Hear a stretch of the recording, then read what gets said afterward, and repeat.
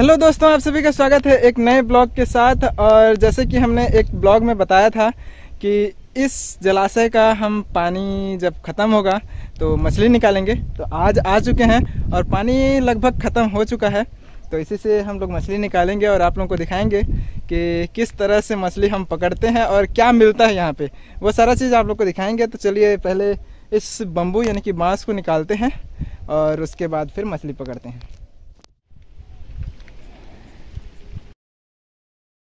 तो दोस्तों अभी मैं इस बम्बू को निकालूँगा।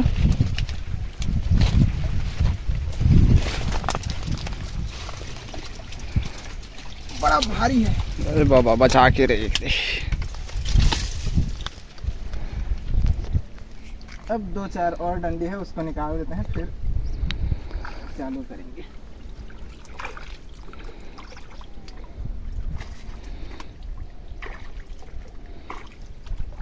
लगता है सारा का सारा बंगला खा गया होगा।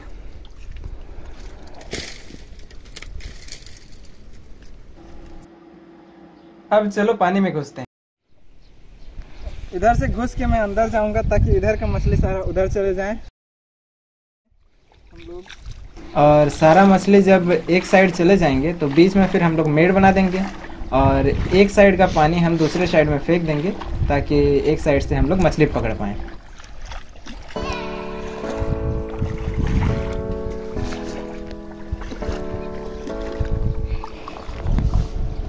और यहाँ पर मैं फावड़े से मिट्टी लाकर पानी के बीच में डालूँगा, जिससे कि पानी को दो हिस्सों में बांट देंगे हम लोग और एक साइड का पानी खाली करेंगे।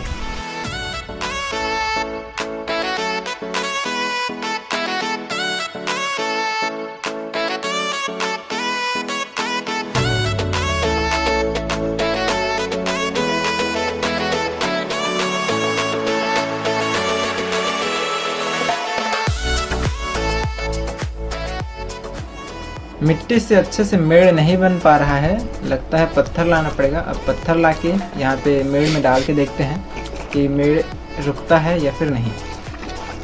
अब ये देख सकते हैं, पत्थर में डाल रहा हूँ।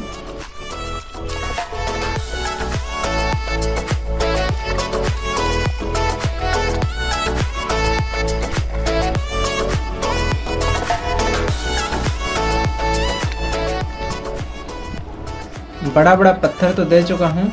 अब छोटा छोटा दो चार पत्थर भी दे देते हैं, जिससे कि जो मेड़ बना रहे हैं, उसकी मजबूती बनी रहे और पानी जब एक तरफ़ से दूसरे तरफ़ फेंकेंगे तो फिर मेड़ न बह जाए। और अब इसके ऊपर भी थोड़ा सा मिट्टी डाल देते हैं।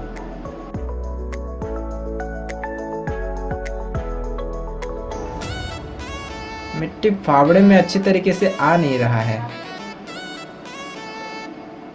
चलो फावड़े को अब रख देते हैं और हाथ में डालने की कोशिश करते हैं।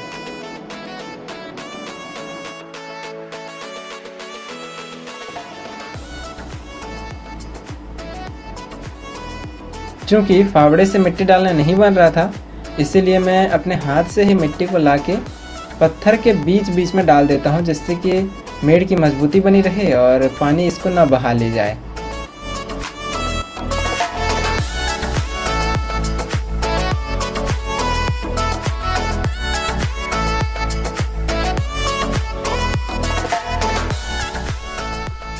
तो दोस्तों, देख सकते हैं आप लोग, बीच में मेड़ बन चुका है। इस साइड का पानी हम इस साइड फेंकेंगे। उसके बाद जब इस साइड पानी कम हो जाएगा तो यहाँ से हम मछली पकड़ेंगे। और किस तरह से फेंक रहे हैं पानी, मितान, देख सकते हैं आप लोग। तो दोस्तों, देख सकते हैं आप लोग, इधर पूरा पानी सूख चुका है और उधर पूरा पानी भर चुका है। अब मैं आप लोग को बैक कैमरा के सहारे दिखाऊँगा कि मछलियाँ किस तरह से उछल कूद कर रही हैं।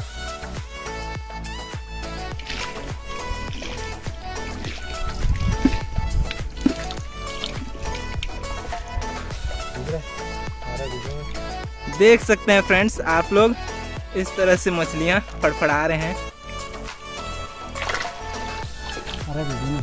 हम्म।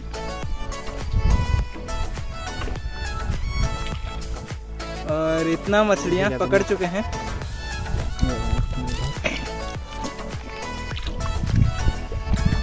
दे रहा है।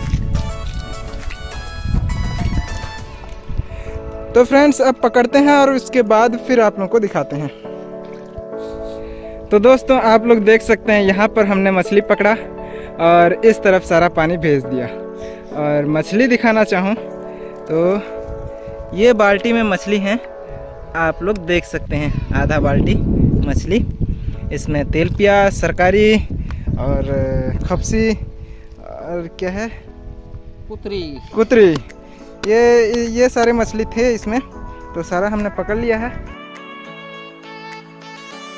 तो दोस्तों एक मछली रह गया था उसको पकड़ने के लिए मितान गए हैं। आप देख सकते हैं ये पकड़ रहे हैं मछली। पकड़ लिए दिखाओ जी। एक मछली बच गया था गाइस देख सकते हैं आप लोग। छोटा सा मछली है। बहुत बड़ा है। बहुत बड़ा है अकेले हाँ। खाएँगे हम। किसी को नहीं देंगे। ये देख लीजिए मछली। ज़्यादा बड़े तो नहीं हैं लेकिन ठीक हैं। इसका पेट पूरा खाली लग रहा है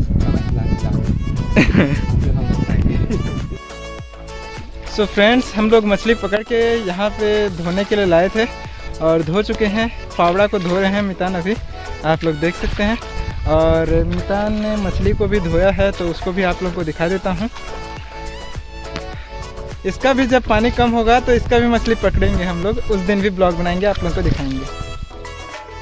तो फ्रेंड्स, आप लोग देख सकते हैं बाल्टी में मछलियाँ धोने के बाद किस तरह दिख रही हैं।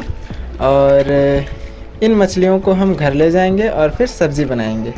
ज़्यादा तो नहीं है, लेकिन हमारे लिए पर्याप्त है। तो दोस्तों, हमने आपको दिखाया कि किस तरह से हमने मछली पकड़ा, मछली को धोया कहाँ पे, और कहाँ पे हम बाद में भी मछली पकड़ने वाले हैं। तो हम तो फ्रेश हो चुके, अब हम जा रहे हैं घर। तो वीडियो आप लोगों को ज़रूर पसंद आया होगा। वीडियो पसंद आया हो तो लाइक कीजिए शेयर कीजिए और कमेंट ज़रूर कीजिएगा। किस तरह का आप लोग वीडियो देखना पसंद करते हैं? और इस चैनल को सब्सक्राइब ज़रूर कर लीजिएगा, क्योंकि आप लोग सब्सक्राइब करना भूल जाते हैं, जो कि हमें ज़रूरत होती है तो हमारा सपोर्ट कीजिए और सब्सक्राइब ज़रूर कर लीजिएगा। तो friends thank you for watching take care bye bye जय हिंद।